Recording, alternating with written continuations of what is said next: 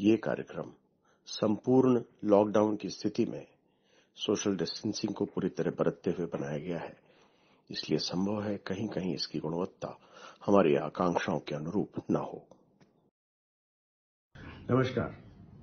आज हमारा देश भारत एक अभूतपूर्व लॉकडाउन से गुजर रहा है। मगर ये कैद तो एक स्वरचित कैद है जो हमने एक महामारी के खिलाफ खुद बनाई है। असल बात यह है कि अभी कुछ दिन पहले ही 14 अप्रैल को हमारा राष्ट्रीय समरसता दिवस था। यानी उस रहनुमा को याद करने, प्रणाम करने का दिन, जिनके बनाए संविधान के सहारे 26 जनवरी 1950 से हम अपने स्वयं सिद्ध स्वरचित संविधान के साथ अपने सपनों की राह पर निकल पड़े थे। आज भारत की संविधान सभा की प्रारूपण समिति के अध्यक्ष डॉक्टर अंबेडकर जी को प्रणाम करते हुए हम याद करना चाहेंगे उनके और संविधान सभा के 300 दूसरे सदस्यों के बनाए उस अनोखे दस्तावेज़ को, जो विश्व साहित्य का सबसे विस्मयकारी, विलक्षण और विवेकी संविधान था और है। हमारे अनोखे संविधान ने भारत जैसे वैविध्यपूर्ण देश में जो समरसता कायम की है, दुनिया भर में वो अद्वितीय है। इसीलिए बाबा साहब के जन्मदिन को हम राष्ट्रीय समरसता दिवस के रूप में मनाते हैं। मुझे खुशी है कि संगीत नाटक अकादमी ने डॉक्टर अंबेडकर जी की जयंती के अवसर पर, राष्ट्रीय समरसता दिवस के अवसर पर, मुझे आपसे जुड़ने का यह मौका दिया है। मैं न कोई इतिहासकार हूँ, न संविधान का कोई विद्वान। मैं तो कथावाचक हूँ, जो कहानियाँ सुनाता हूँ। I am a storyteller जो नाटक और फ़िल्म के माध्यम से आप तक कुछ कहानियाँ ले आता हूँ।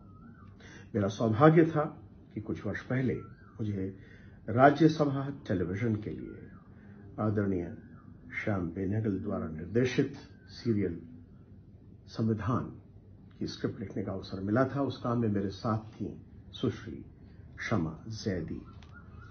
उसी पूरी प्रक्रिया में, उसी पूरे उद्यम के दौरान जो कुछ भी मैंने सीखा, उसी को आज मैं आप तक लाने की कोशिश कर रहा हूँ।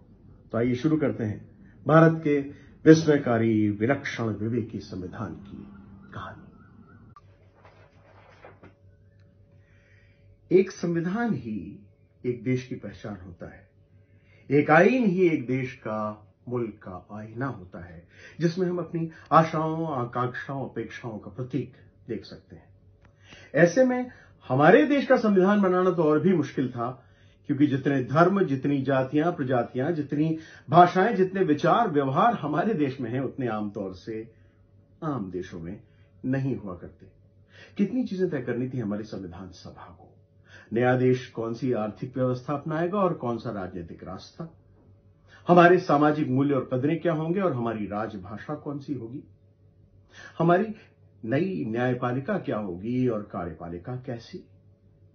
हमारी विधान पालिकाएँ कैसी होंगी और राज्य और केंद्र के संबंधों का क्या स्वरूप होगा? आदि आदि, इत्यादि।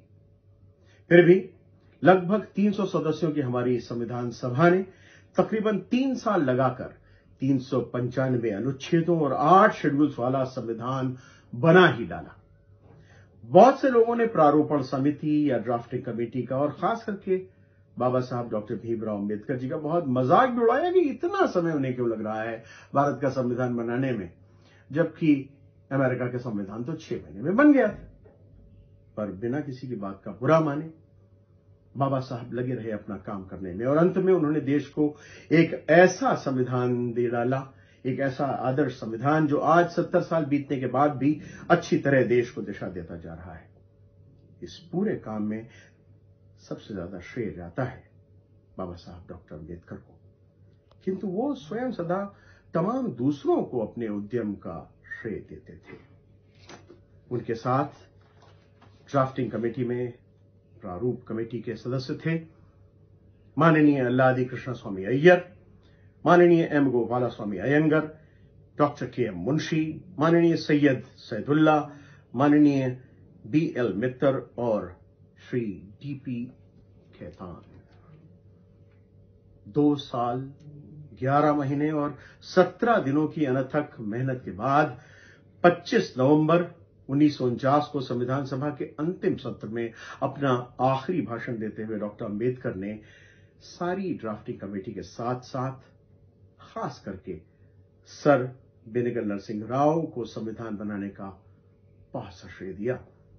और विशेष धन्यवाद दिया chief draftsman Shri S N Mukherjee का। डॉक्टर अंबेडकर जानते थे और मानते थे कि एक लोकतंत्र में, देश के बारे में सोचने और इसे चलाने का काम किसी एक नेता का नहीं, बल्कि बहुतों की सोच, सूझ, समझ, सहयोग से ही संभव होता है। आदरणीय प्रधानमंत्री श्री नरेंद्र मोदी जी ने छह शब्दों का जो अनोखा मंत्र हमें दिया है। सबका साथ, सबका विकास, सबका विश्वास। वो कदाचित हमारे संविधान की पूरी आत्मा को अपने आप में समेट लेता है। मज़े की बात यह है कि 9 दिसंबर 1946 के दिन जब हमारी संविधान सभा पहली बार बैठी तो कॉन्स्टिट्यूएंट असेंबली के कुछ सदस्य दिल्ली की भंगी कॉलोनी में महात्मा गांधी से मिलने और उनका आशीर्वाद लेने पहुँचे, उस दिन बापू ने उन्हें एक तावीज दिया। जी नहीं, लोहे का, तांबे का, कपड़े का कोई तंत्र मंत्र नहीं, कोई टोटका नहीं, बल्कि कागज़ का एक टुकड़ा, जिसमें ज्ञान की एक बहुत बड़ी बात लिखी थी। बापू ने लिखा था, संविधान सभा में कोई भी काम करते समय तुम उस व्यक्ति का चेहरा याद करना, जिसे तुमने देखा हो, जो समाज के सबसे पिछड़े वर्ग से आता हो, जिसका तन भी खाली है, जिसका मन भी खाली है, जिसका पेट भी खाली है और जिसका हृदय भी खाली है, और तब सोचना कि क्या तुम्हारा यह कदम उसकी परिस्थिति में, उसकी स्थिति में कोई परिवर्तन लाएगा? क्या मेरे संविधान के इस कदम से उसे स्वराज मिलेगा? और तब देखना कि तुम्हारी सारी शंकाएँ छू छूमंतर हो जाएँगी। डॉक्टर अंबेडकर ने जो स्वयं समाज के एक शोषित पीड़ित वर्ग से आए थे, हमेशा इस बात का ध्यान रखा जो हमारे बापू चाहते थे। सबको साथ लेकर चलने वाला भारत का संविधान कई मामलों में विश्व के सारे संविधानों से बहुत आगे था, अलग था। संसार में पहली बार किसी संविधान ने सारे जी हाँ जाति, धर्म, वर्ग, लिंग, रंग, शिक्षा, पैसा, जायदाद का भेद किए बिना सारे नागरिकों को वोट का अधिकार दिया था। तब तक कहीं अशिक्षितों का वोट का अधिकार नहीं था तो कहीं बिना जायदाद वालों को। और बहुत से देशों में वोट का अधिकार सिर्फ़ एक धर्म विशेष, जाति विशेष या रंग विशेष के लोगों को ही था। और सबको वोट का अधिकार देने वाला भारत का संविधान, संसार का पहला संविधान था। बहुत से लोगों ने इस बात को लेकर के आपत्ति भी उठाई कि भारत एक अशिक्षित देश है, जहाँ बहुत से गरीब लोग रहते हैं। क्या वो वोट का ठीक इस्तेमाल कर पाएँगे? पर सदन में मौजूद विद्वजनों ने, और डॉक्टर अंबेडकर ने कहा यदि हमें जनता द्वारा, जनता के लिए, जनता की लोकतांत्रिक सरकार बनानी है तो सारे वयस्कों को वोट का बराबर का अधिकार देना ही होगा, तभी पूरा हो पाएगा एक सच्चे जनतंत्र का सपना। सबके विश्वास की बात करें तो हमारी संविधान सभा बनने के एक महीने के अंदर ही सबसे पहली बनी समितियों में से थी अल्पसंख्यकों के अधिकारों की माइनॉरिटी राइट्स कमेटी समिति की शुरुआत करते हुए यूपी यानी यूनाइटेड प्रोविंस के प्राइम मिनिस्टर संयुक्त प्रांत के प्रधानमंत्री, पंडित गोविंद बल्लभ पंत जी ने एक बहुत पते की बात की। उन्होंने कहा, अल्पसंख्यकों को विशेष अधिकार तो हमें देने ही चाहिए, किंतु साथ ही यह भी याद रखना होगा कि इन अधिकारों की गारंटी केवल सरकार नहीं, किंतु बड़े बहुसंख्यक समाज को भी लेनी होगी, जिसके बीच में छोटा अल्पसंख्यक समाज रहता है। इसीलिए दोनों में भाईचारा, एकता, सामंजस्य बनाए रखना भी दोनों की सांझी ज़िम्मेदारी होगी। हमारी संविधान सभा में समरसता की नींव उसी दिन पड़ गई थी, जिसके सबसे बड़े हामी थे डॉक्टर अंबेडकर। सबको साथ लेकर चलने और आगे बढ़ने की मंशा से ही अल्पसंख्यकों के अधिकारों के साथ साथ जनजातियों और अनुसूचित जाति के नागरिकों को आरक्षण के विशेषाधिकार भी दिए गए हमारे संविधान में, जिस काम में डॉक्टर अंबेडकर सबसे बढ़ चढ़कर आगे थे। एक बार जब कुछ सदस्यों ने अनुसूचित जनजातियों को आरक्षण देने के प्रस्ताव का विरोध किया तो बाबा साहब ने संविधान सभा के सामने अपना त्याग पत्र रख दिया। तब सरदार पटेल को उनके घर जाकर उन्हें मनाकर वापस लाना पड़ा। और दोबारा पूरे जोशो खरोश से संविधान बनाने के काम में लग गए थे डॉक्टर अंबेडकर पर जानकर आश्चर्य होता है कि कुछ लोगों और वर्गों ने खुद ही आरक्षण के अधिकार को ठुकरा दिया। यही काम किया था। संविधान सभा में मौजूद महिलाओं ने, जिन्होंने किसी भी विशेषाधिकार को लेने से मना कर दिया, क्योंकि नए भारत की नए नायिकाएँ किसी के पीछे नहीं, सबके साथ साथ कंधा मिलाकर आगे बढ़ना चाहती थी। ईश्वर, गॉड, अल्लाह। भारत का संविधान बनते समय विश्व के हर संविधान में किसी न किसी गॉड, ईश्वर, अल्लाह का नाम ज़रूर आता था। केवल साम्यवादी सोवियत यूनियन के संविधान को छोड़कर। इन सारे देशों के मुकाबले हमारा भारत कहीं अधिक ईश्वरनिष्ठ देश था। जहाँ सभी धर्मों, संप्रदायों, मतों, कबीले के लोग अपने अपने ईश्वर, भगवान, गॉड, अल्लाह, देवी, देवताओं, मान्यताओं को मानते थे और अनिश्वरवादी लोग भी रहते थे। ऐसे विविध देश के संविधान ने, जहाँ सबको अपने अपने मतों, विश्वास और रीति रिवाजों के अनुसार अपनी पूजा पद्धतियों को अपनाने की पूरी खुली स्वतंत्रता दी। वहीं हमारे पूरे संविधान में कहीं ईश्वर का नाम नहीं आता। जब कुछ लोगों ने, विशेषकर श्री एचवी कामत ने, भगवान का नाम संविधान की उद्देशिका में डालने का आग्रह किया तो सारी सभा ने उनके इस संशोधन प्रस्ताव को वोट से निरस्त कर दिया। संविधान बनाते समय डॉक्टर अंबेडकर और सारी संविधान सभा के सामने एक बड़ा जटिल प्रश्न था भाषाओं का, जिस देश में तमिल और संस्कृत जैसी पुरातन क्लासिकल भाषाएँ हों। और सबसे नई पर सबसे ज़्यादा बोली जाने वाली हिंदी और हिंदुस्तानी, वहाँ चुनाव चुनौतीपूर्ण तो होना ही था। फिर देश के हर प्रांत, हिस्से, प्रभाग में बोली जाने वाली लगभग 780 बोलियाँ जवानाई भाषाओं में से चुनाव मुश्किल तो होता ही।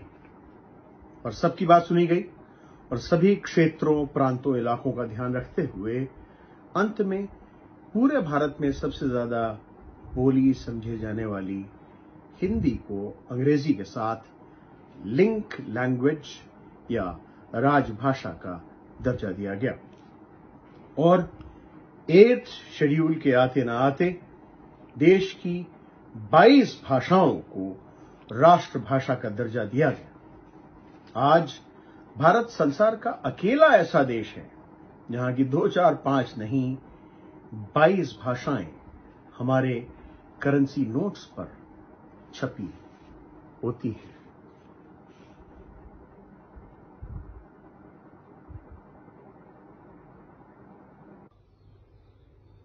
भारत का संविधान बनाने वालों की विवेकशीलता का एक उदाहरण यह भी है कि जहाँ तक संसार के अधिकतर संविधान नागरिकों के अधिकारों की बात करते हैं, वहीं हमारा संविधान नागरिकों के कर्तव्यों की बात भी करता है।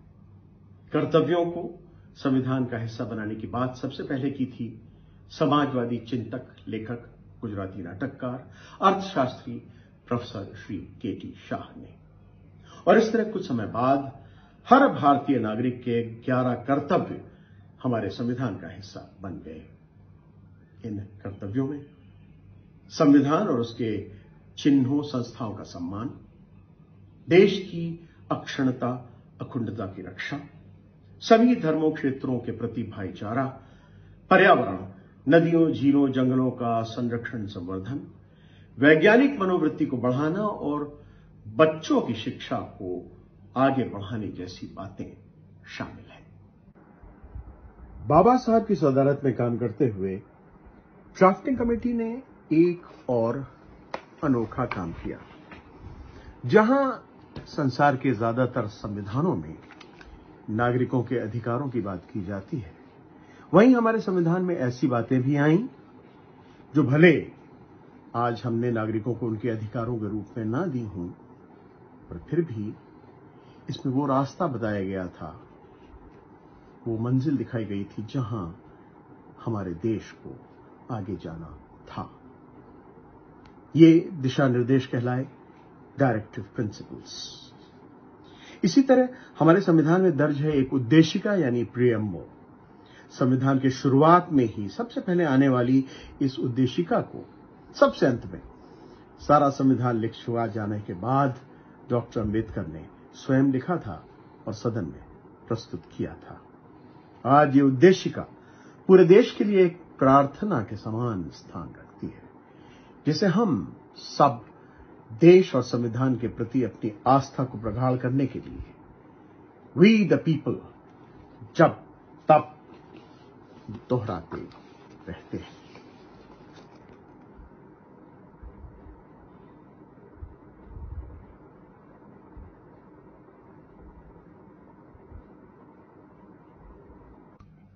क्या कला, संगीत, नाटक, नृत्य, साहित्य भी हमारे संविधान का हिस्सा रहे हैं? यह प्रश्न पूछा जाना लाजमी है, खास करके तब जब आज की यह प्रस्तुति लेकर आ रहा है, संगीत, नाटक, अकादमी, परिवार। जी हाँ, संविधान सभा के पहले अध्यक्ष डॉक्टर राजेंद्र प्रसाद के चुनाव के बाद सभा के सारे सदस्य एक एक करके राजेंद्र प्रसाद जी का धन्यवाद ज्ञापन करने के लिए खड़े हो रहे थे। तभी किसी ने कोकिल कंठा श्रीमती सरोजी नायडू जी से कहा कि वो कविता में ही अपनी बात सदन के पटल पर रखें। और श्रीमती सरोजी नायडू ने लोगों को निराश नहीं किया और डॉक्टर राजेंद्र प्रसाद की तारीफ़ में जो पंक्तियाँ कही, वो कुछ यूँ थी। Only if I have an ink pot full of honey and a gold nib pen I may be able to write something about him धैन और सारा संविधान बन जाने के बाद उसे छापने से पहले। खुशखत खातिब या कैलीग्राफर, श्री प्रेम बिहारी नारायण रायजादा साहब ने पॉइंट थ्री की कलम से सारा संविधान अपने हाथ से लिखा था। और उससे भी बढ़कर पूरे संविधान को चित्रित किया था शांति निकेतन कला भवन के कलाकारों की एक टीम ने, जिसके अगुआ थे आचार्य नंदलाल बोस जैसे मूर्धन्य चितेरे। नंदलाल बोस जी ने मोहनजोदारो वैदिक काल गुप्त मौर्य राजवंशों, अजंता, बाघ राजस्थानी और मुगल शैली का प्रयोग करते हुए भारत के 4000 साल की कला परंपरा को संविधान में पिरो दिया था। और वहीं आठवें सर्ग में महात्मा गांधी का चित्र आधुनिक कला का नमूना था। संगीत की बात करें तो 15 अगस्त उन्नीस सौ सैंतालीस को जब भारत आज़ाद हुआ तो उस विशेष सत्र में एक नहीं, दो नहीं, तीन तीन गीत गाए गए थे। वंदे मातरम। सारे जहाँ से अच्छा हिंदुस्तान, हमारा। और वो गीत जो जब भी हम सुनते हैं तो हर भारतवासी का सीना चौड़ा हो जाता है, यानी हमारा अनोखा, अनूठा, प्यारा राष्ट्रगान जनगण मन अधिनायक संविधान चाहे कितना ही अच्छा हो, यदि उसे लागू करने वाले लोग अच्छे नहीं हुए तो संविधान निश्चय ही बुरा साबित होगा। और यदि संविधान कितना भी बुरा क्यों ना हो, यदि उसे लागू करने वाले लोग अच्छे हुए तो वो संविधान अच्छा ही साबित होगा। ये शब्द थे डॉक्टर भीमराव अंबेडकर जी के। वैसे तो संविधान बनाने की लंबी राह हर मोड़ पर, हर दोराहे पर बाबा साहब अंबेडकर मौजूद थे। हर रोड़े को हटाने में वो सबसे आगे थे। पर शायद उस आखिरी दिन जब पूरा संविधान बन चुका था तो संविधान सभा के सामने डॉक्टर अंबेडकर ने जो बात रखी थी, वो हम सबके लिए और हमारे संविधान की रक्षा के लिए बोले गए सबसे महत्वपूर्ण शब्द थे। डॉक्टर अंबेडकर ने चेतावनी देते हुए कहा था 26 जनवरी 1950 के दिन से हम एक विरोधाभास के जीवन में प्रवेश करने जा रहे हैं। उस दिन से राजनैतिक पटल पर हम एक व्यक्ति, एक वोट एक वोट, एक मूल्य के सिद्धांत को अपना लेंगे। पर हमारे सामाजिक और आर्थिक पटल पर शायद इस व्यवहार तक पहुँचने में भी हमें बहुत समय लगेगा। कब तक हम ये विडंबना का जीवन जिएँगे? अगर हमने जल्दी ही इस विषम्बरता को, इस विडंबना को, इस असंगति को, इस विरोधाभास को दूर नहीं किया तो दबे पिछड़े लोग हमारे उस पूरे राजनीतिक ढांचे को ध्वस्त कर देंगे, जो हमने इतनी मेहनत से तीन सालों के अथक परिश्रम से यहाँ बैठकर बनाया है। ये शब्द थे डॉक्टर अंबेडकर के। शायद सामाजिक समरसता के महत्व को इतने पुरजोर ढंग से केवल वही हमारे सामने रख सकते थे। आइए, आज उस महान शख्स को, उस अद्वितीय विद्वान को, उस अनथक समाज सुधारक को और समता और समरसता के उस मसीहा को उनके जन्मदिन पर हम प्रणाम करें और प्रण करें कि अपने जीवन में भी हम उसी समरसता को लाने का पूरा प्रयास करेंगे, जिसके लिए डॉक्टर अंबेडकर जैसे व्यक्ति ने अपना पूरा जीवन समर्पित कर दिया।